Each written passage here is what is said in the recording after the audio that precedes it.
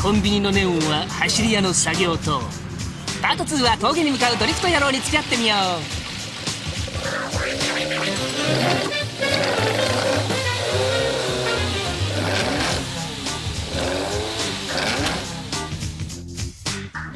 峠に行く時にはコンビニでメンテしましょう。あう自分の好きなステージへのセッティングそんな時間が楽しい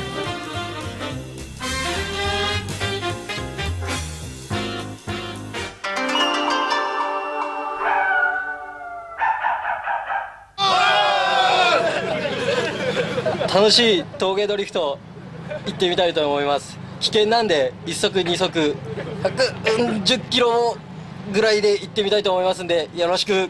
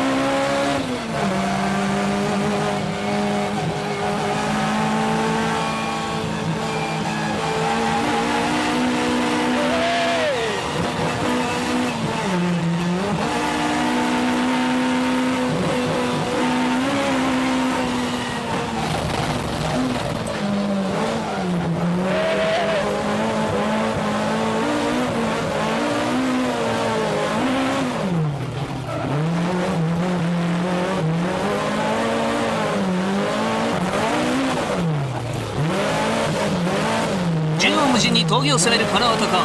上りも下りも関係なしでアクセルバカ踏みしっぱなし。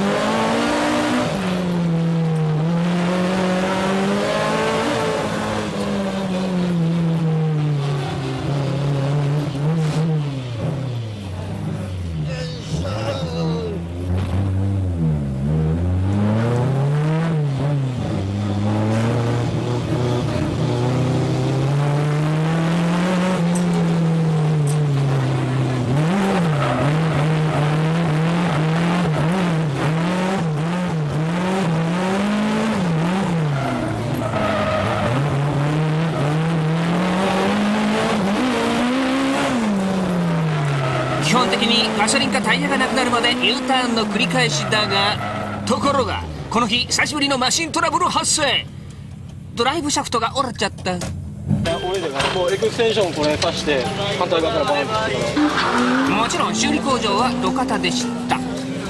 ドライブシャフトが折れた時には、えーレフを下ろしたくないっていうか、えー下ろす時間がない時にはこれでレフあのドライブシャフトのここの部分のかけらをこれで弾き出します。そしたら短縮 OK です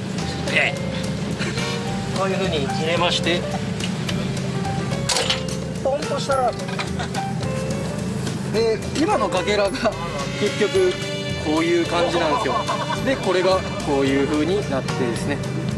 ちゃんと出てきたっていうことです。あちゃこれぞ走り屋の醍醐味満喫。注意1秒怪我一生。峠はゆっくり走りましょう。イエーイ